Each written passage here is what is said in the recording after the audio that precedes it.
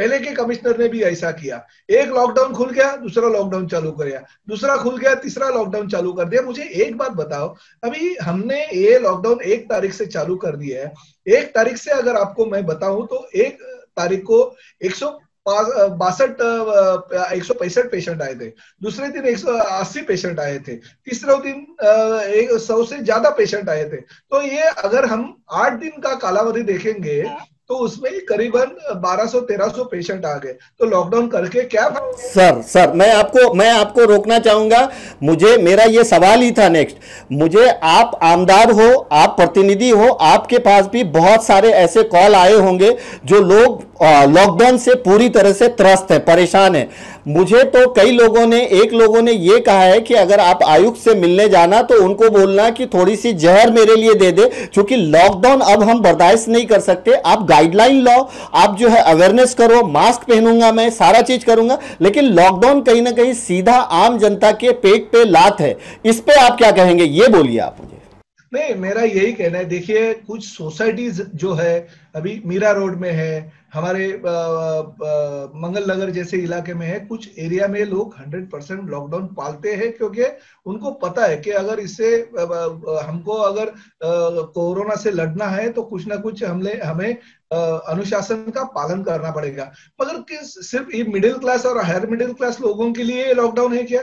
Bhayandar waste में आप देखते हो, शिवसेना गली हो या देवल नगर हो या कुछ ऐसे झोपड़पट्टी इलाके हैं, वहाँ पे तो लॉकडाउन की छज्जियाँ उड़ाते हैं। क्या कॉरपोरेशन की ज़िम्मेदारी नहीं है? पुलिस की ज़िम्मेदारी नहीं है इनके ऊपर ध्यान रखने के लिए?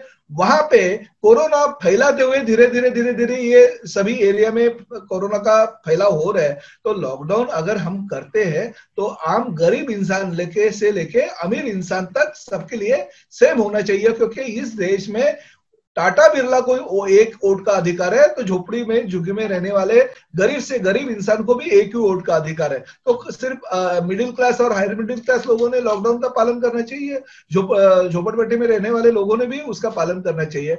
और वो क्यों पालन नहीं करते? उनको क्या तकलीफ़ है? उनको खाना नहीं मिलता है क्या? उनको पानी नहीं मिलता है क्या? उनको दवाई नहीं मिलता है क्या? इसकी ज़िम्मेदारी भी कॉरपोरेशन ने लेनी चाहिए और वो ज़िम्मेदारी लेते हुए लॉकडाउन करना चाहिए। ये लॉकडाउन जो एक तारीख से किया, मुझे पता नहीं। मैंने कमिश्नर साहब को फ़ोन किया। कमिश्नर साहब ने बोला हाँ हमने मेयर साहब को बताया था।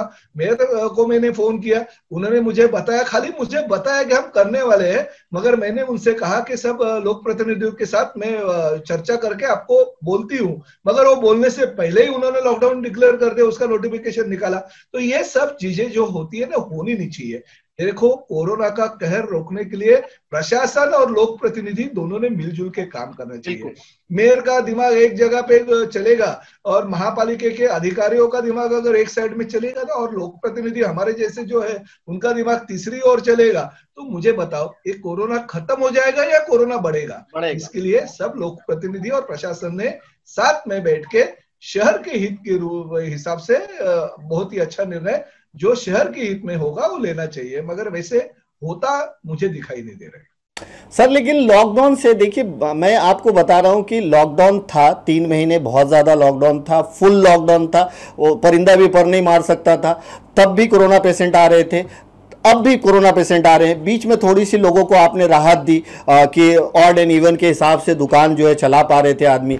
लॉकडाउन जैसे ही ख़त्म हुआ था, सर, लोग लाइट के बिल के लिए परेशान हो गए ईएमआई के लिए परेशान हो गए स्कूल के फ़ीस भरने के लिए परेशान हो गए, राशन भरने के लिए परेशान हो गए। ऐसे में अगर थोड़ी सी राहत तीन तीन दिन के लिए मिल रही थी कि एक साइड के लोग एक बार खोले, दूसरे साइड के तो कहीं ना कहीं उसमें एक और अवेयरनेस प्रोग्राम आपको करना चाहिए कि ठीक है, आप मास्क कंपलसरी है मास्क जो नहीं पहनेगा उसको फाइन मारेंगे आई एग्री जो सोशल डिस्टेंस का पालन नहीं करता, उस पर कार्रवाई करेंगे। मुझे नाइनटी 99 परसेंट लोगों ने ये कहा है। पहले लोगों की दो मत थी कि कुछ लोग कहते थे लॉकडाउन होना चाहिए, कुछ लोग कहते थे लॉकडाउन नहीं होना चाहिए। आज अगर मैं आपको हज़ारों लोगों के अगर मैं मैसेज दिखाऊँ जो हमारे पास आते हैं, उनमें से हज़ार के हज़ार लोग ये चाहते हैं कि अब हमें लॉकडाउन नहीं चाहिए। हाँ हम प्रिकॉशन करेंगे। लोगों का लोक प्रतिनिधि हूँ, मैं पहले दिन से कहते आ रहा हूँ।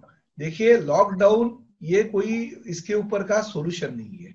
देखिए लॉकडाउन की वजह से आप, हम, आप तो क्या दो पेज का लेटर कॉरपोरेशन से हमारे सोशल मीडिया में वायरल कर देते हो तो लोगों तक वो पहुँचा, पहुँच जाता है, लोग वो हिसाब से बातें करते हैं। मैंने हमारे एसपी जो है, राठौर साहब, उनसे भी बात की थी, जिस जिस वक्त लॉकडाउन नहीं लगा था।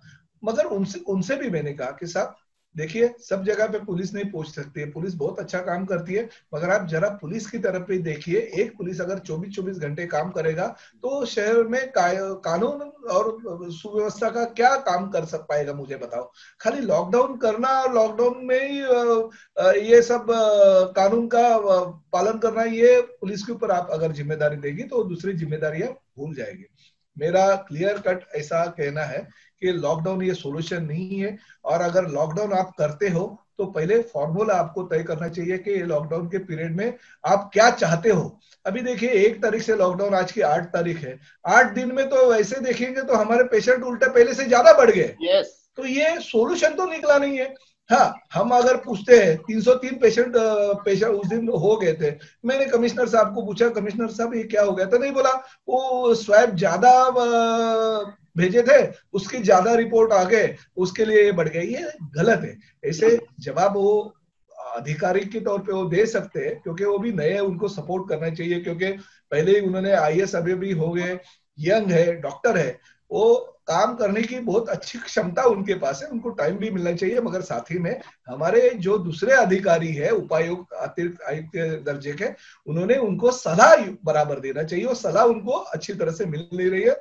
नहीं तो ये डैशिंग और बहुत ही अच्छा काम करने वाला कमिश्नर है, ऐसा मेरा खुद का कहना है। उनकी तमन्ना भी है कि जल्दी से जल्दी इस मीरा भाईंदर शहर में हम कोरोना खत्म करके मीरा भाईंदर शहर जैसे धारावी पैटर्न है या मालेगांव पैटर्न है वैसे पैटर्न मीरा भाईंदर का होना चाहिए। Yes. उसके लिए हम उनको सपोर्ट करेंगे मगर उन्होंने सब लोग प्रतिनिधियों को विश्वास में लेना चाहिए। मेरा वही कहना है कि दस तारीख का अगर है तो ग्यारह या बारह तारीख का आपके पास कुछ सोल्यूशन yes. है क्या? yes. क्या आप नौ या दस तारीख को शाम को डिक्लेयर कर देंगे वापिस और दस दिन लॉकडाउन बढ़ा दिया है। तो ये नहीं चलेगा।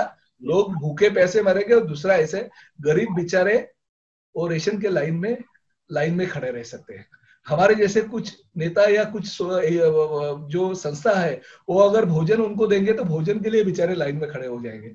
आप मुझे बताओ हाई फाई सोसाइटी में रहने वाले या मिडिल क्लास या हायर मिडिल क्लास लोग, घर में अगर अनाज नहीं होगा, घर में अगर सब्ज़ी नहीं होगी, घर में अगर गैस नहीं होगा, घर में अगर शक्कर नहीं होगी, चाय नहीं होगी तो वो लोग क्या लाइन में खड़े रह सकते हैं उन लोगों के जैसे? खाली गरीबों के लिए और आप मिडिल क्लास लोगों के लिए अलग रूल ये नहीं होना चाहिए, उनकी तरफ़ भी देखना चाहिए। बहुत सारे पेरेंट्स ऐसे हैं, मेरे पास हज़ारों पेरेंट्स हैं, जिन्होंने, जिनके बच्चे आरबी के स्कूल सेवन इलेवन स्कूल जैसे स्कूल में पढ़ते हैं, उनकी एक एक बच्चे की फ़ीस जो है, एक टर्म की चालीस से पचास हज़ार रुपए होती है। दो टर्म की अगर दो बच्चे कम से कम होते हैं उनके एक एक लाख रुपए फ़ीस है। वो फ़ीस भरने के लिए आ, सब लोग एजुकेशन इंस्टीट्यूशन उनके पीछे बढ़े। वो बोलते हैं हमारे घर में खाने के लिए पैसा नहीं तो हम फ़ीस कहाँ से भरेंगे? ठीक है वो अलग इश्यू है। हमने वो हाई कोर्ट में और सुप्रीम कोर्ट में उसके लिए मूव किया हमने एक वकील का पैनल भी उसके लिए तैयार किया है। वो हम लड़ रहे हैं। मगर उन लोगों के पास खाने के लिए पैसे नहीं तो लॉकडाउन में खाना कहाँ से लाएँगे? आप क्या उनको अनाज देने की व्यवस्था कॉर्पोरेशन रखते हैं क्या? तो ये लॉकडाउन ये सोल्यूशन नहीं है। हमें कोरोना के साथ लड़ना है और लड़के उनको खत्म करना है ये बात ध्यान में रखना yes. आ, दोस्तों मैं आपको बता दूँ कि प्रताप सरनायक जी ने बहुत ही सही दोनों सवाल के हमारे जवाब दिए जो लॉजिकल है और दूसरा एक मैं बता दूँ आपको कि प्रताप सरनायक की मुझे एक बात याद है कि आ, इन्होंने जब आ, मीरा भाईंदर में आर्सेनिक एल्बम जब स्टार्ट स्टार्ट में जो वो दवाई को बांटने की बात हुई थी तो इन्होंने कहा था कि चाहे वो वन हो चाहे वो वन हो हर घर में हम आर्सेनिक एल्बम पहुंचाएँगे। शायद आपको पता नहीं होगा, इसको देखते हुए मैंने आपके लोगों को कांटेक्ट किया था और हमें कुछ नया नगर के पाँच सात बिल्डिंग में आर्सेनिक एल्बम बांटना था। हमने उनको कांटेक्ट किया और बाकायदा वो ला करके दिए। तो मुझे बहुत अच्छा लगा कि ऐसे आपके जो लोग हैं, जिनको आपने कहा था, उनको जैसे ही हमने कॉन्टेक्ट किया, उन्होंने कई जगह पे जो है हमारे कहने पे भी बिल्डिंग में आर्सेनिक एल्बम बांटा है। आपके प्रभाकर महात्रे जी जो वहाँ बैठे हुए हैं, उन्होंने भी बहुत सारे करीब तकरीबन डेढ़ दो सौ आर्सेनिक की बोतल हमें दी थी। कुछ सोसाइटियों को बांटने के लिए हमने अप्रोच किया था। तो ये मेरा प्रैक्टिकल है। आपदा की घड़ी है जो शायद कभी ना आई होगी, ना कभी आएगी। ऐसे में आपने प्रताप फाउंडेशन के साथ भी मिलकर के बहुत सारे लोगों को इनिशियल स्टेज में जो है फ़ूड पैकेट्स वगैरह भी बांटा। तो ये सब कहीं ना कहीं हमारी नज़र पे है। और इसीलिए मुझे लगा कि आप जो है शहर को अच्छी तरह से समझते भी हो, चूँकि दो टर्म से आप नेतृत्व करते आ रहे हो, तीसरा टर्म आपका चल रहा है तो लोगों के दुख तकलीफ़ को आप ज़रूर समझते होगे। लॉकडाउन का क्वेश्चन मैंने सिर्फ़ इसलिए किया था कि जो लोग मुझे अगर कॉल करके बोल रहे हैं तो वो आप लोग प्रतिनिधि हो तो आपको भी उनका दुख दर्द पहुँचता होगा। कहीं ना कहीं आपने सर बहुत अच्छा जवाब दिया, और ये शायद जनता को सुन करके, लोगों को सुन करके थोड़ी सी तसल्ली मिलेगी कि उनके प्रतिनिधि उनके साथ खड़े हैं। तो सर सिटी हेडलाइंस से बात करने के लिए thank you so much thank you